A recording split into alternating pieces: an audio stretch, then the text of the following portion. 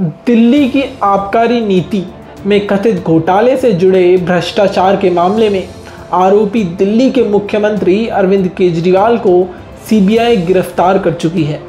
अब इस मामले को लेकर सीएम केजरीवाल ने दिल्ली हाईकोर्ट का दरवाज़ा खटखटाया है। उन्होंने सीबीआई की ओर से गिरफ्तारी और रिमांड को चुनौती दे दी है।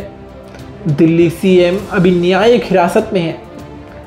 आम आदमी पार्टी प्रमुख की शनिवार को तीन दिन की हिरासत खत्म हो गई है।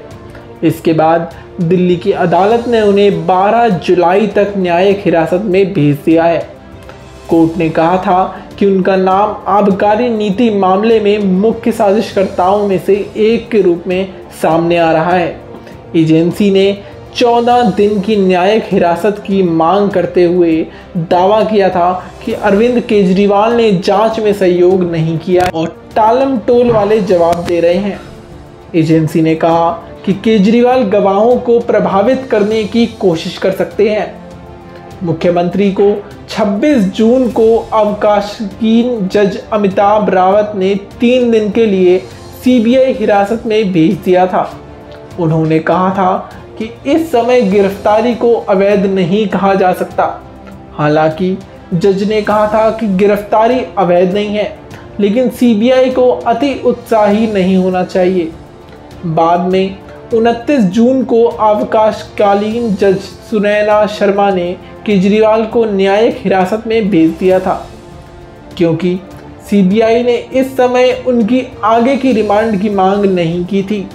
पिछले सप्ताह ही जाँच एजेंसी ने तिहाड़ जेल में मुख्यमंत्री से पूछताछ की थी। दिल्ली के मुख्यमंत्री केजरीवाल को 21 मार्च को ईडी ने गिरफ़्तार कर लिया था। मई में उन्हें आम चुनावों को मद्देनजर रखते हुए 1 जून तक सुप्रीम कोर्ट द्वारा अंतरिम जमानत दी गई थी। उन्होंने 2 जून को तिहाड़ जेल में सरेंडर किया था।